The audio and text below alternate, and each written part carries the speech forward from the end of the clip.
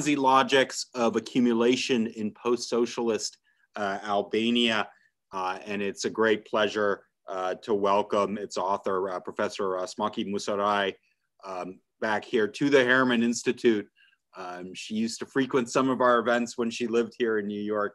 So it's a pleasure to welcome her back. Um, this is a really extraordinary tale. I think one of the most, I think, illuminating and also, I mean, initially to my sensibility, bizarre. Um, but I think uh, the logics of it are really well laid out. Um, that yes, this really did happen, and how did it happen? Um, so it's it's actually the the article version I teach in Legacies as to one of the features of the political economy of transition um, in Albania, and we're incredibly lucky uh, to have uh, Professor uh, Musaraj, who is an associate professor of anthropology and director at the Center for Law, Justice, and Culture at Ohio University.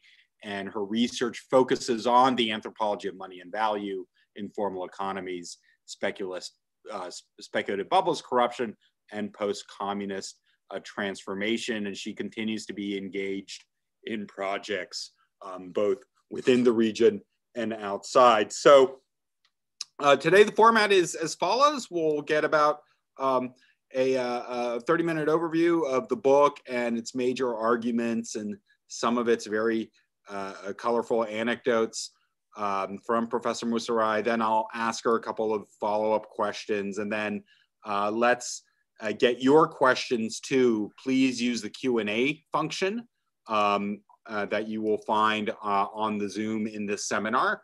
and also, um, if you have any uh, uh, uh, questions about what you know the you know the origins of the project or or what this links up to, please feel free to, to ask those as well. Um, as well.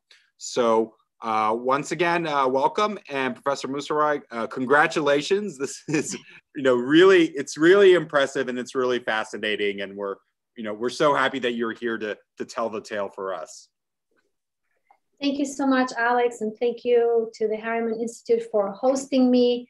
It, it's a big honor. As you mentioned, I was a student in New York um, uh, almost a decade ago. Um, yeah, a decade ago at the New School, but I lived nearby at the I House where a lot of other graduate students and postdocs from um, affiliated with Harriman Institute and other schools uh, at Columbia University uh, were my co-residents. So I have very fond memories and this sort of personal connection to the center. So I'm gonna um, share my screen. I will be um, using a presentation. It's easier to keep me on track with the time. Um, and, and I will also be reading my presentation so that, again, so that we can stay on track. And, and what I will uh, be doing is I will be sort of giving an, an overview and I will use a couple of uh, examples from my book to talk about how I did this research um, and especially how we do uh, anthropology of a Ponzi scheme. So um, my book is based on ethnographic and archival research. The bulk of this research took place in 2008, 2009, uh, but I also continue to return to, to collect more archival material um, and, and followed up with some of my interviewees, my informants in summers 2015 and 17 when I was rewriting and revising the what was my dissertation into the book. Um, Tales from Albarado revisits time of excitement and loss in late um, 90s Albania. This was a time of deep political and economic transformations that followed the end of the Cold War, the collapse of one of the harshest uh, communist regime in Eastern Europe. It was a time of excitement for people in Albania who felt free after decades of dictatorship. It was also a time of disappointment. Many Albanians yearned to go west, to European countries and to United States. Uh, as they tried to do so, they ran into long waits and the closed doors of embassies and a forbidding visa regime. Mass migration by boat by foot, by air, ensued nonetheless. In the midst of these major transformations, there emerged a dozen Ponzi schemes, locally referred to as firma piramidale, or pyramid firm. So you'll hear me use this term a lot. Uh, pyramid firms were a mix of classic Ponzi schemes whereby money circulates from new investors to early investors and joint stock companies that are run, they run on a Ponzi finance model. That is, um, you know, investment firms that, that are promising future returns that are not based on sustainable uh, patterns of wealth acc- accumulation. These firms had an ambiguous status. They were half formal, half informal. Um, all of them were legally registered at the time. This is an important thing to remember.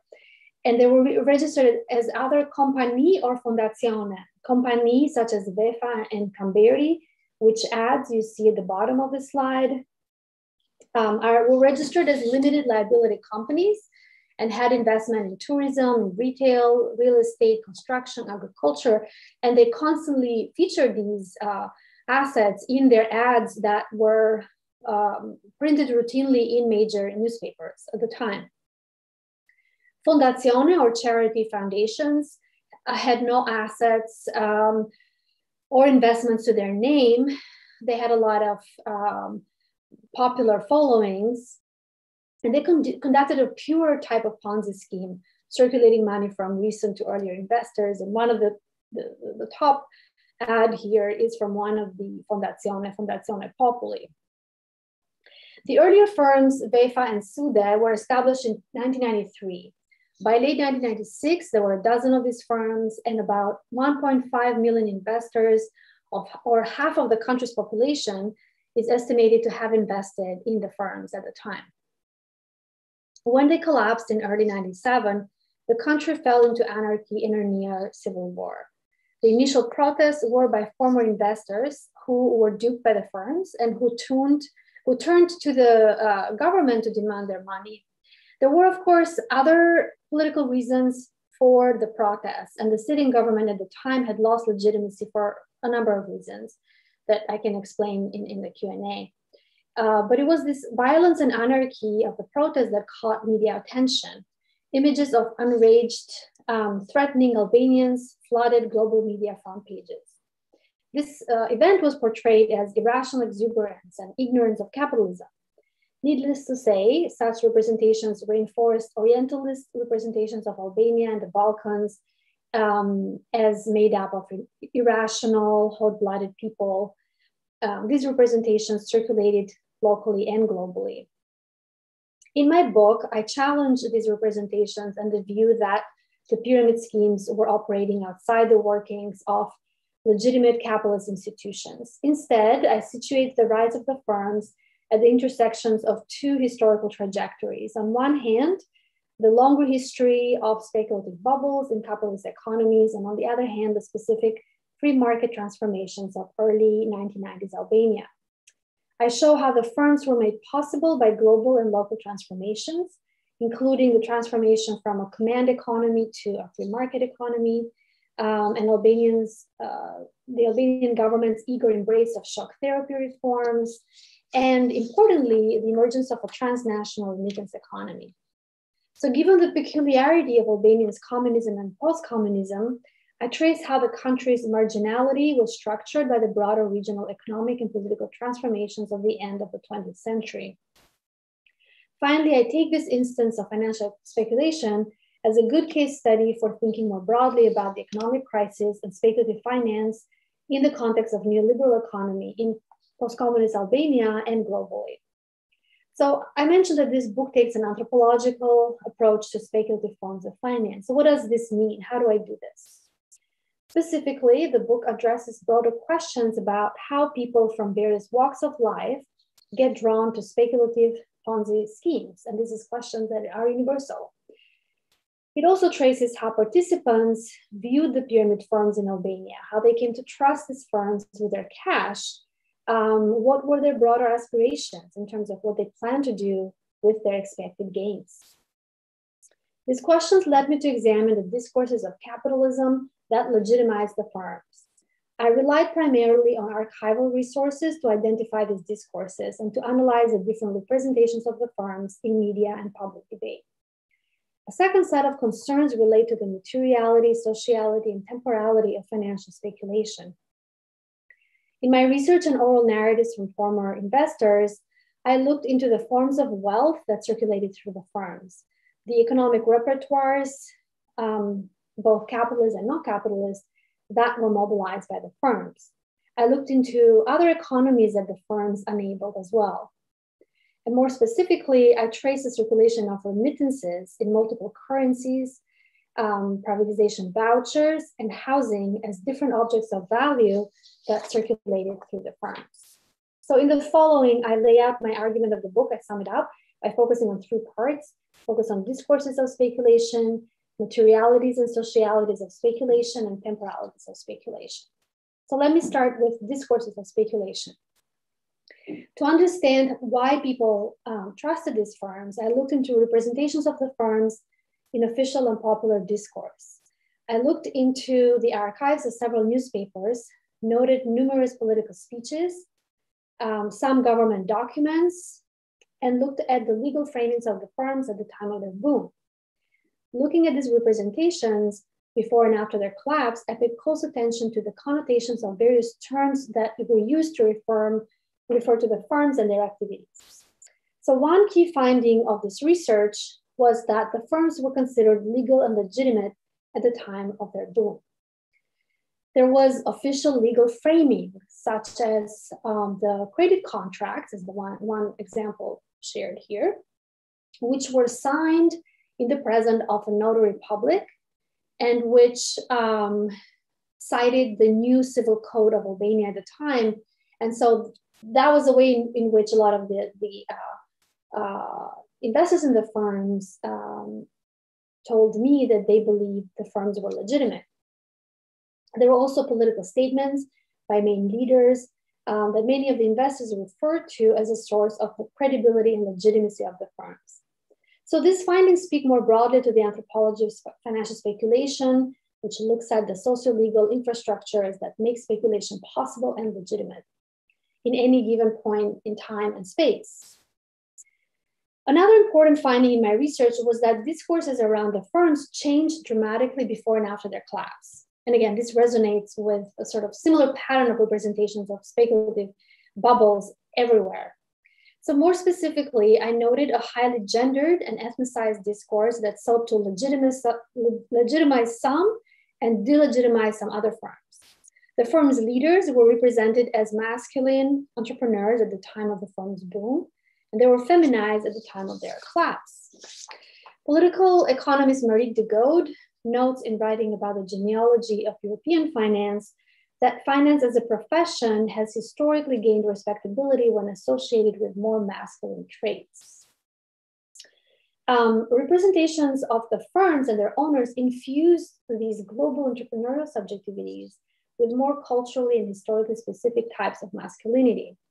So here I'm approaching masculinity as not, not as a sort of a universal notion, but as a notion that is culturally and historically specific.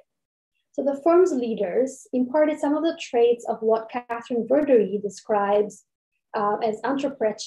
These were individuals who had managerial positions under the communist regime. They were in charge of state resources, so which was not their ownership, but they often used their access to these resources for personal gain or to accumulate political and social capital.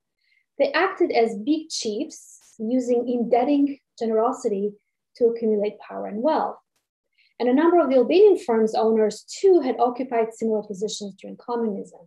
For instance, Vehbi Alimuçaj, who's uh, the head of VEFA, one of the, the biggest firms and the most uh, well established in terms of having other investments. So the uh, Ali Limuchaj is at the corner of this ad here. Um, was a warehouse manager during the communist times and used many of his connections to the government as well as um, individuals and, and his so, so social capital to establish his firm. In my interviews with former investors, many were still loyal to VEFA and to Alimuçaj. A former manager of VEFA described Alimuçaj as a generous man with a big heart and a man from Kurveleshi, which is a highlands region in Vlora. It's famous for its honor system and sort of very manly culture. In these portrayals, Alimuçaj was represented as a man of honor who gave his wealth to VEFA's investors. accolades of Alimuçaj indicate how notions of masculinity attached to the traditional honor code and to common structures of power and wealth were translated into the discursive field that framed post-communist entrepreneurship. These persistent cultural representations of masculinity and entrepreneurship bestowed legitimacy to Alimuçaj and Vefa, and I should say that these, this type of entrepreneurial um, man has persisted also beyond the, the firms. By contrast, the story of Maksude Kadona, the head of the Fondation Sude, represents the feminization and ethnicization of pyramid firms. Most international media accounts of the spectacular collapse of the firms uh, in 1997 center on the story of Maksude Kadona. A former worker in a communist shoe factory, Kadona was the first to set up a firm and the first to fold. Uh, Sude, which is the company's name, the firm's name, um, was a pure Ponzi scheme. There's no doubt about it. No investments uh, in other areas of the economy. But her financial operation was not unlike that of Vefa and the other firms. When it collapsed in 1997, protests ensued. Kadona captured global media headlines as, quote, a gypsy fortune teller who claimed to look into a crystal ball. This is from New York Times in 1997.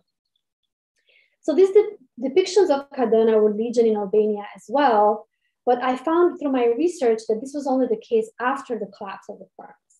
Media records before the collapse reported testimonies of investors who were former shoe factory workers and who trusted Kadona, given that she used to run a rotating uh, credit circle uh, called Lotari in the factory during the communist times. So representations of Kadona post-collapse are written in grotesque remarks about her gender and ethnicity. Sude was thus delegitimized um, through depictions of Kadona as a fickle and fraudulent Roma girl. This depiction reflects a discourse of sexism and prejudice against the Roma and Egyptian communities in Albania. In the aftermath of the collapse of Sude, um, it became an icon of fraudulent speculative finance, and her name is still used to this day in public discourse as a way to delegitimize other economic activities. Depictions of Kadona as a gypsy fortune teller with a crystal ball replicate the tropes of unpredictable, emotional, and hysterical behavior associated with speculative and fraudulent finance. This shift in register from the powerful and honorable bosses to the fickle and hysterical gypsy fortune teller represents a familiar discursive practice in the history of capitalism. So again, as de Groot notes, delusions and hysteria are the most salient and durable metaphors of crisis. Taken together, then these discourses of entrepreneurship and of speculative finance serve simultaneously to legitimize certain policies and institutions um, while framing the failings of these institutions and practices as externalities, speculative bubbles, mania, so, having deconstructed the discourses of speculation, I then turned to practices of wealth accumulation and value conversion that took place through the firms. One recurring theme in my conversations with former investors to the firms was the ubiquity and abundance of cash in circulation at the time. These accounts of abundance were perplexing to me given the multiple currency devaluations, rising unemployment, economic dispossession that was going on at the time. These accounts of abundance contrast with stories of virtual or illusory wealth that allegedly fueled the madness of the crowds in uh, a case of a speculative bubble. They underscore the materiality of financial speculation. So in the book, I note two specific pathways of wealth circulation and conversion that enabled and was facilitated by the firms. On the one hand, I discuss the top-down processes of privatization as a pathway of value conversion that generated a bifurcated path of dispossession for a few, for some, for many, and accumulation for a few. On the other hand, I explore the bottom-up monetary repertoires of remittances and multiple currencies that flow through the firms. So the top-down um, process of value conversion is quite similar to the processes that, again, are described in Katherine Verdery's chapter on the uh, Romanian pyramid scheme Caritas. Privatization of state property in across uh, the Eastern Europe provided opportunities for entrepreneurs to buy property at very low cost. Meanwhile, a system of distribution of shares in state enterprises through privatization vouchers or bono privatizimi in Albania, again, benefited the enterprises or the, the people that had been associated with the regime. Um, because it enabled, they were more in the know of when these properties were going to, to public auction. And the other part of this is so privatization vouchers were used in different countries and, and they were used differently. Um, in some countries of Eastern Europe, they were just given to their own employees and they were supposed to be just used to purchase uh, these uh, private, privatized uh, entities. In some countries, including Albania, these vouchers were also convertible to, to money. They had a, a market value. And what happened in Albania is that the nominal value that you see printed on the these vouchers in, very quickly was devalued uh, because of the way that it circulated in the informal currency exchanges. And so a lot of people who had nothing else, they just sold them at 10% of their nominal value and or less. So the other pathway of value conversion that I researched was that of migrant remittances deposited to the firms. This was a bottom-up financial repertoire that proliferated outside the banking system and was mediated by social networks among migrants. By tracing the circulation of remittances from migrants to kin to the firms, I discussed the materialities and socialities of financial speculation. I first realized the extent of the use of multiple currencies through the firms when Durim presented me with a ledger he had kept when working as a sekser or a broker for the firm Gjallica. Durim um, was an army officer during communism. He was laid off in the early 90s. He moved back to Vlora, which was his place of origin, and he had worked there in the span of four to five years. Uh, he had gone from working in the farmers market to being money changer to then becoming a broker for the firms. So this kind of shows you uh, the, the, the life-changing circumstances of the 90s and how people moved were very unstable had very unstable job uh, prospects and they were looking for something to give them provide them some security. So i met durim in vlora in 2008 where at the time he worked as a security guard at an internet cafe. Durim shared his own ledger where he listed the investor who, investors who had deposited money through the, to the firms through him one of my first observations about this ledger was that most of the investors share the last name of Durim, and I, I have modeled this in the photo because I for protection of privacy, but you can take my word that these were all Durim's relatives.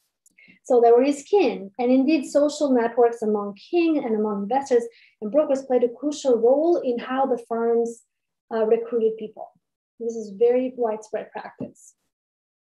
Now, this scenario perhaps is a little bit more extreme in Albania, but it's not unlike other sites of pyramid schemes or money marketing schemes where fraudulent firms mobilize social networks to draw more investors. So, for instance, we recently, Bernie Madoff passed away. And we know that Bernie Madoff's scheme also used networks of friends and family members um, to, to draw as investors over a long period of time. Social norms of reciprocity, obligation, and trust mediated the transfer of remittances to the firms. But the collapse of the firms also had a significant impact on restructuring social relations. So relations between generations were reconfigured after the firm's collapse, and the brokers, whether they were close relatives or distant acquaintances, received a lot of blame and hostility from investors. So overall, uh, in the book, I point out how these dynamics point to speak to the intertwined relationship between money and social ties uh, that undergird financial speculation, but, but other uh, um, economic activities as well. The second observation of, from the ledger um, is that the ledger has different columns for different currencies. So going from left to right, we have the Albanian lek, the US dollar, the Greek drachma, the Italian lira, and the German mark. Um, this list then contains a record of the earmarking of different currencies um, as they relate to migration patterns in early 90s Albania. Migrants sent their remittances in the currencies of their host countries, and also this is a time before the euro. right? So we have multiple countries.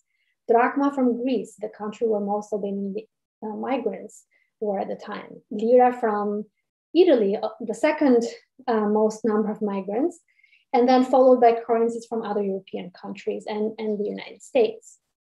The emerging, uh, and you can see here that the drachma is the second most populated column. Um, and one of the things that, I mean, there's a lot of things that I can draw from this uh, vignette, but one of the things, uh, one of the, the um, facts that we can read through this is that the, the firms um, accepted deposits in these different currencies and they also gave back interest in these different currencies. And this was something that the banks weren't doing at the time. So the emerging cash economy and the flow of remittances in multiple currencies were a key form of wealth channeled through the firms. Attention to these bottom-up practices brings forth a more complex picture of financial speculation in neoliberal times. Among other things, um, these practices underscore the mutual imbrication of formal and informal economies, the multiple entanglements of capitalist economies with other uh, logics and practices of accumulation, such as remittances, and the new monetary repertoires and practices that emerge at the interstices of these logics. They also underscore how financial speculation can take hold through highly personalized transaction rather than abstraction of capital. Further, as I explained towards the end of the book, migration and remittances continue um, constitute an enduring economy that continues to play a crucial role as a buffer to ongoing economic instability and crisis in the region. Um, for many former investors, the booms and busts of the firms were also had also uh, changed their individual life trajectories. Many describe the collapse of the firms as a lagging behind from their anticipated trajectories. Discussions of temporality of finance and life were often expressed by investors as they express their plans and their decisions to participate in the firms and the ensuing consequences of the firm's collapse on their life trajectories. One such discussion of temporality often emerged in discussions around um, of tales of, of housing sales and purchases. In addition to remittances, um, another widespread practice of the 90s was selling off the recently privatized apartment or house for cash to deposit in the firms. This phenomenon took place in the aftermath of a massive privatization reform that tr transformed state owned housing into private property. With the major shift of the housing regime from a state owned regime to real estate market, many residents with no other sources of wealth became owners of small apartments, and this was their only for, uh, form of wealth. But as these were small and deteriorating apartments or houses, the owners wanted to move to or to build better housing. In 1996, many rushed to sell these apartments for cash, deposit the cash into the firms, and hope to double or triple the amount in six months to a year. Then they wanted to buy a new house. and this was ubiquitous across the board. Everyone I interviewed, um, uh, that's what their plan was. So one of my informants, I'm going to share one, one little story. Here, uh, Magnolia had gone so far as to demolish her communist era house in the village of Narta. So this was not an apartment, this was a house. And this is actually not her house um, because she demolished hers, but this is an example of the kind of house that she demolished, which is the, the house in the front. So Magnolia and her husband had worked as migrant uh, migrants in Greece for four years. Their, four, their whole families were in Greece and they continue to be in Greece. They themselves had returned uh, around 96 to take care of their parents. Uh, according to Albanian traditions, the younger son's supposed to take care of their parents, so this is very common. But all of their family remained abroad and they deposit their savings in Vefa and Gjallica. And actually, Magnolia also coordinated the remittances from other family members, depositing them into the firms. So again, she said she planned to, to build a new house. And she says, I demolished our house. She was very regretful of this. We had an Elbasanche house, two bedrooms and a hallway. My father-in-law had built it in the 60s. We had a strong desire to make a new house. That's all the Albanians wanted then, a beautiful European house. Elbasanche house refers to the house that her father-in-law had built in the 60s following one of the few approved plans by the Tirana Institute of Design. In the original design, these houses were a significant improvement over the Ottoman style houses, which were built in mud bricks and outdoor bathrooms by incorporating modern European styles such as bricks and indoor plumbing system. So the, the house in the front here is a kind of house that, was built, the Elbasanche house. So as such, the Elbasanche house represented a communist modernity in the 60s. This was even more so the case with the communist apartments in the cities. By the late 80s, however, the Elbasanche house and the communist apartment uh, embodied a failed modernity that many were eager to leave behind. Magnola's plans uh, was to build a European house, such as the one in the back of the slide, um, which would be a house with more bedrooms, more balconies, a French as opposed to Turkish bathroom, multiple floors, etc. And actually, uh, walking around Narta, everyone had done this in this town, right? They had used remittance money or pyramid scheme money to build uh, a, a, sort of a European style house, or what is called European style house. For other investors um, who had sold their urban communist apartments, their hopes was to relocate closer to the center of the cities, which were also the more European, especially in the case of Tirana. Sadly, Magnola had also lost her migrant savings to the firms. She described the horrible years uh, following the collapse of the firms, where she had to scramble until she was able to regain, to, to build, uh, rebuild her new home. And, and this was actually thanks to the continuous remittances that her family members were sending her, but this took much longer than it would have taken if she had gotten back her, her gains from the firms.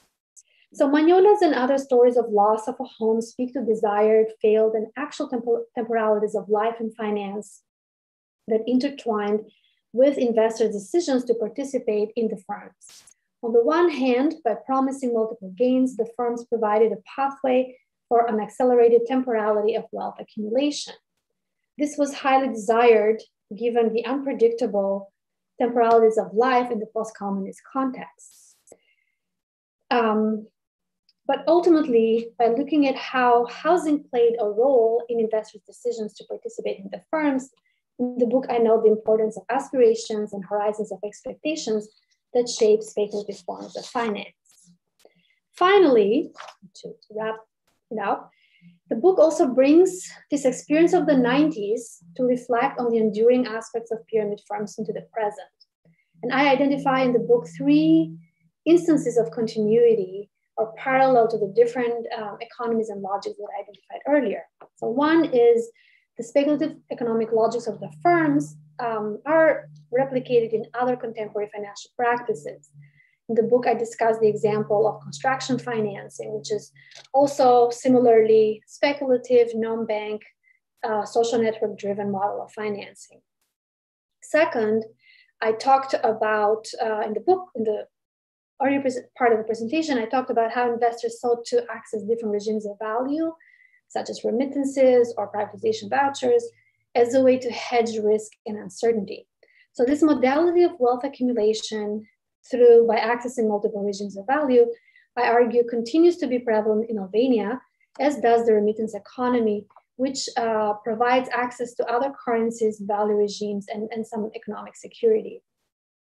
And third, aspirations towards a European political and cultural belonging are also prevalent in Albanian discourse. These aspirations are political in that they aspire towards EU accession, but they're also cultural in that people continue to aspire to this uh, being included or um, as part of European history and culture. Finally, in exploring these continuities, the book emphasizes the Albanian peculiarities, such as the specific forms of communism and post-communism that took there, um, the relationship to Europe, the migration patterns. It, also emphasizes the global resonances of the Albanian case, specifically the neoliberal logics of accumulation, the temporalities of the punctuated present, the aspirations towards alternative modernities, and the intertwining of neoliberal economies and non-capitalist economies, such as those of kinship and migration. With all of that said, I hope that the book will speak to Albanianists, Balkanists, anthropologists, and scholars of finance alike. Thank you, and I'm happy to take questions. Great. Thank you. So you've covered so much ground, and I think that's that's one of the really fascinating things about your research is you know through this story of this episode you you know you take it in so many different directions and especially sort of thinking with the housing at the end and just the materiality of of of life.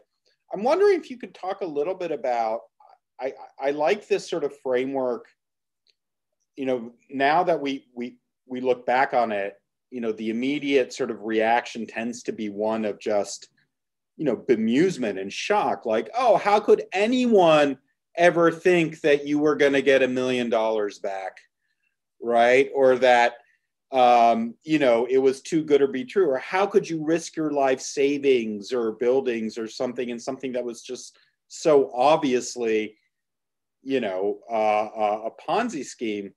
And, and and what i think i really what i really appreciate about your work is is taking us through that way of, of, of thinking in this environment where all these kind of visual inputs and signifiers of you know wealth and missing out and europeanization are giving you cues in the other direction. So i'm just wondering um, you know has you know you're looking back on it now in the country itself um, what what kinds of reckonings have there been with with with with with with the schema? Is this sort of an episode that is kind of just kind of buried? Is it still taboo to talk about? Um, I'm, I'm curious you have revisited this in a very fascinating responsible way. Um, but how do how is albania re-narrating this uh, and viewing this this period? So one of the things that I was worried about when I was researching the topic was that people were going to be too sensitive to talk about it because I, I knew that a lot of people had lost money. Yeah. I knew that there were, I thought or expected people to be sort of ashamed of it. Right. But actually, I was uh, wrong. people were very eager, very comfortable talking about it. Some of them found it amusing. Part of it, I think, was because it was a decade later and even people who had lost a lot of money or had lost their housing had had found other ways of recovering. Only once did i have someone who refused to even talk about it because he was very sore. Um, so part of it i think is albanians have gone through these ups and downs and, and this this state of uncertainty and loss has become very normalized. And so people are not uncomfortable talking about the pyramid schemes i think also so what happened after the pyramid scheme collapsed? There was this year of anarchy and violence, and then the government eventually uh, resigned. The president resigned. There was an international peace force uh, led by Italian troops that came in, and there was a new government. There were all these international organizations that came in to help with auditing. So, so it was something that was talked about a lot. It wasn't like repressed. Um, I think, interestingly, the new generation. This is what I found very fascinating even the young people, right, like the kids of the people that I interviewed, they didn't want to talk about it because they just thought it was like a stupid. It's like how could you be so stupid, right? Um, so that was that was that. There was definitely a generational uh, distance, but it comes back in the. So it, um, the other thing I should say is that there's four books in Albanian that have been published about the schemes and about the, the events of 97 and they mostly focus on the political story and the political actors and the schemes are sort of on the background and they're all written by people who are really involved in the politics of the time. So they're really important useful memoirs. Um, so in that sense there has been writing about it but i think what there hasn't been this is what i wanted to do with my work is that there hasn't been a lot of um, you know this kind of work of interviewing people who participated or talking about their life stories right? So that hasn't been so much talked about. Not as much for instance as let's say um, the memory of communism is being now really explored you know and, and, and talked about in a lot of mediums. So maybe this is something that will come in future. Um, i recently found out something that i should have known in the past but i didn't that there were some actually interesting artistic works that engage with this time. Um, so I was like, oh man, I missed that, you know, during my research. But so, so there has been different kinds of engagements. One thing though, so there, there isn't a repression, but there is definitely a sort of lack of analysis, I would say, of socio-cultural, even economic analysis. Um, even economic analysis, I find, is very uh, simplistic. And part of it is because people, for instance, the Ministry of Finance, I went to look for some material and I found really important documents. But they just kept saying, we don't have any documents because these were outside of, they were kind of ashamed of it, right? So they were like, this were outside of the formal system. They were not our responsibility. Right. So it's that that attitude of not wanting to know it and not wanting to sort of explore how it connected with other things. So I'm hoping to bring some of those stories uh, into into light. Yeah, no, that's that's super interesting. Um, okay, let's take a couple of questions. Uh, the Q and A tab is open.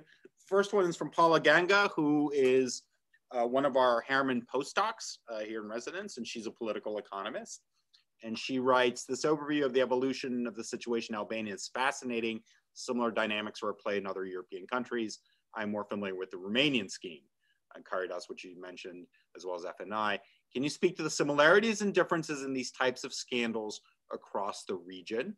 Um, and then she asks about uh, the role of state security services, criminal organizations. Uh, and then she's got a whole bunch of questions. Let's do those two. Uh, and then uh, questions about prosecutions and justice for these schemes, okay. um, where yeah. one held accountable.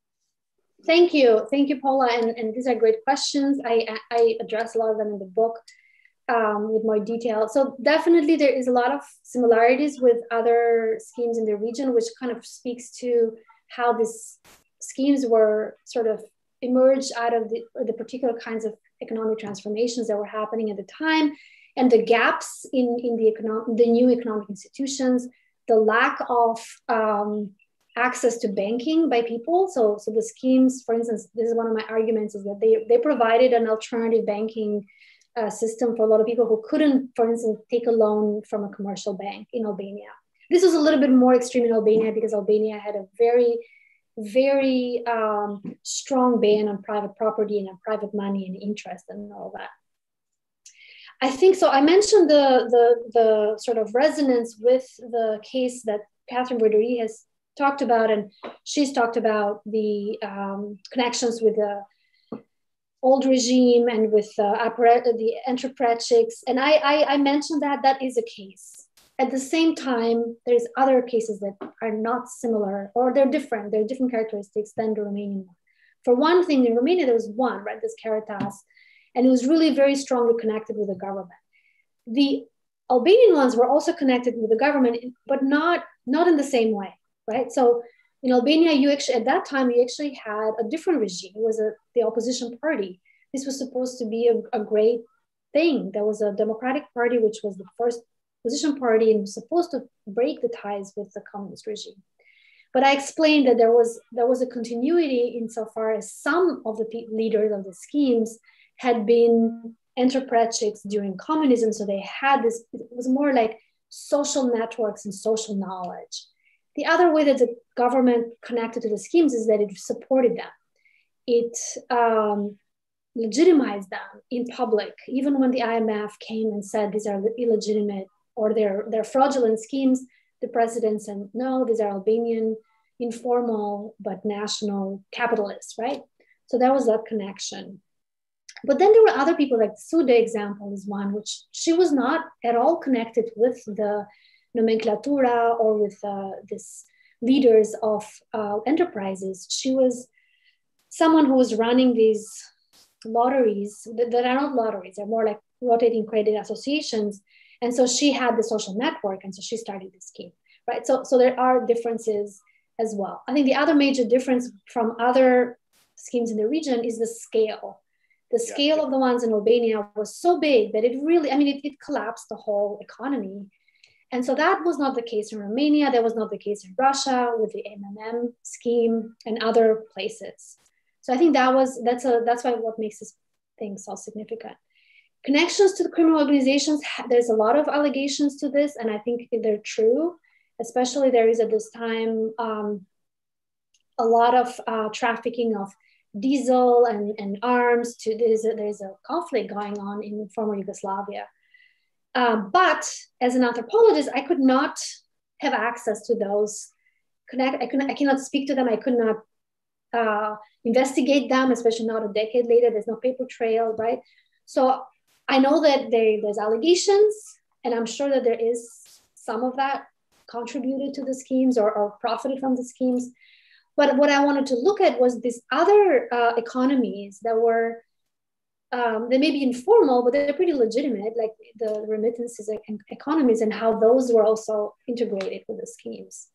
And in terms of prosecution, yes, there were prosecutions of the everyone who was a leader of the scheme. Some of them went into exile, so they escaped prosecution. A couple of them went. Uh, Sude, I always tell the story now, is the, the first one to uh, surrender. she was actually the most honest one, even though she's made she's ridiculed because she actually uh, admitted like I was running a Ponzi scheme and she she did it. She served her term and her term was shortened because of her corporation. And Alimuçaj, who I also mentioned in the presentation, was also uh, tried and imprisoned. And when I was doing my research, he was still in prison. Um, um, perfect. So let's uh, move on to a question from uh, Tika Vera. You've already touched on this, but she wants to ask specifically about the responsibility of the political class on the establishment of the Ponzi schemes. So, um, so like I mentioned, I think the political regime at the time had a really important role in legitimizing the firms. And so this is one of the things that I ex- explore in chapter one. Um, and they did so by through these public statements. Uh, the firms also funded uh, political campaigns and ads of some of the, the political parties now, I should say that in the aftermath, the main blame was put on the president, Sali Berisha, who was also the, the sort of main figure of Democratic Party, and rightfully so, because he really went out to support these firms when these international institutions didn't. And actually, he broke ties with international institutions over these, how he handled this, this uh, situation.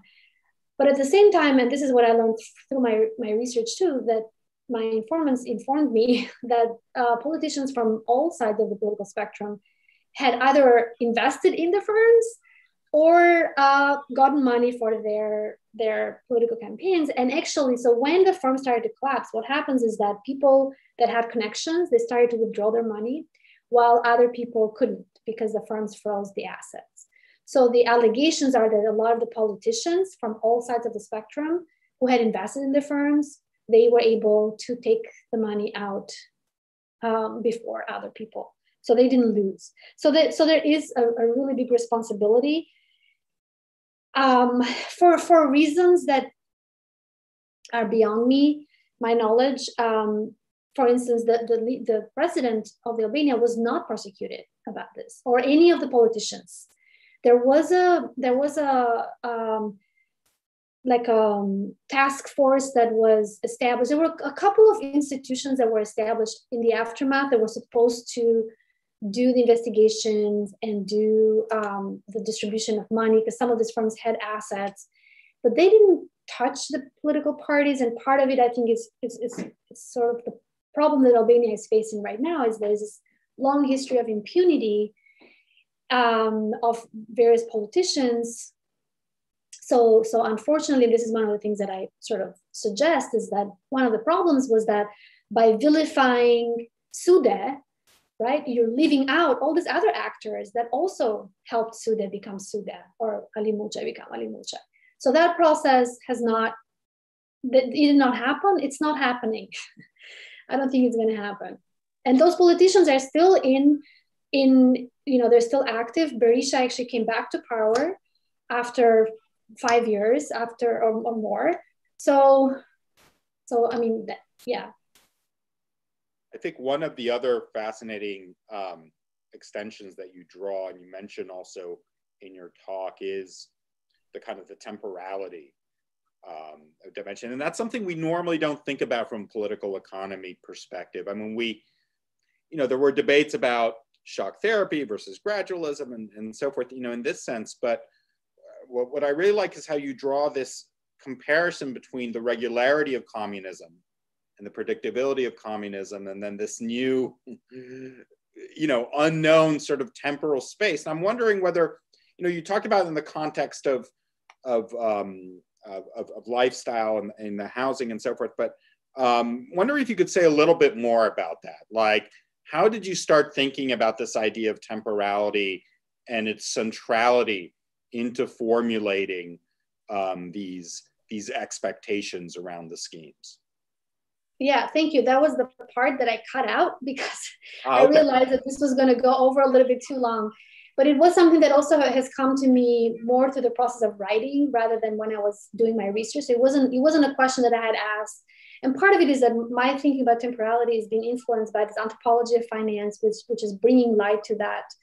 And I think I find it fascinating to sort of look at how temporalities of finance intertwine with temporalities of life, right?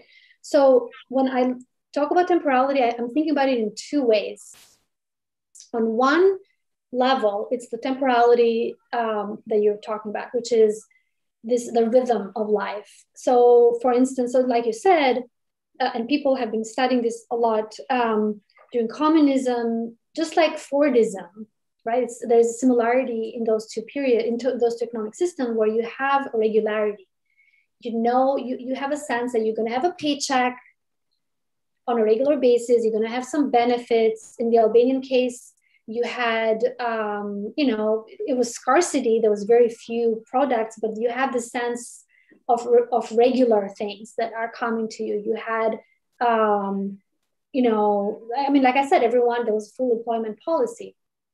So even though it was very poor country, and there was a lot of other political problems um, with repression, I think that that sense of regularity was completely disrupted, right, with the post-communist changes. And so in the 90s, so this is something that I'm, I'm sort of like, I, I was thinking about it as I was writing that the chapter about temporalities. It, it's to try to think about the 90s. I lived in Albania in the 90s. I left in 95. And so I remember this as a teenager of how these things got disrupted. And it's hard to make sense of it at the moment.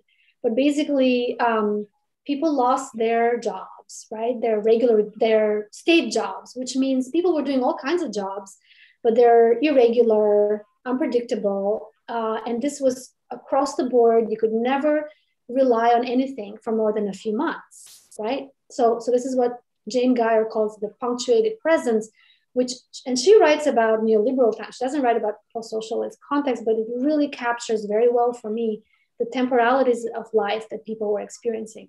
So now people that went to migration, right, were expecting that they were going to get rich very quickly. And they discovered that yes, they were able to send money back, but it took a really long time and a lot of suffering. And so what I discovered, what I think the pyramid schemes provided for those people was a, uh, it provided the promise that you could accelerate this long years of migration. You could accelerate that. And instead of spending 10 years in migration, you could spend three years, bring your money back in, multiply, and then start your normal life. The other thing that I noticed in my interviews was that sometimes people were using the interest, were taking out the interest as if it was a salary because they didn't have more salary. So they would not pull the whole thing out. They would just get like the 30, 10% interest. And it was like, uh, at least it was a regular income. It was small.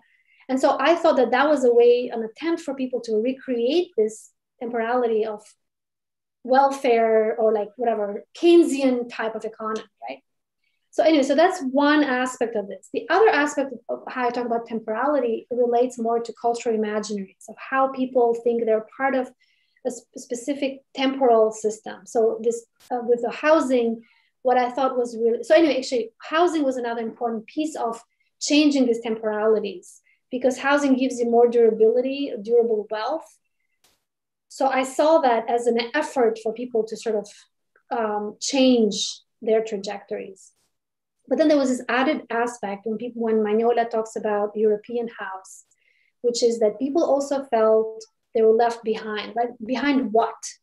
And so the, the point of reference for Albanians is Europe. Europe is sort of this horizon of the future where people want to be and it's it's it's both a horizon of the future like this is where we want to be we want to go there and we're going to go there faster by by you know the schemes but then there's also this other temporal timeless temporality where people claim that they were always albania was always european european culture before it was invaded by ottoman empire right?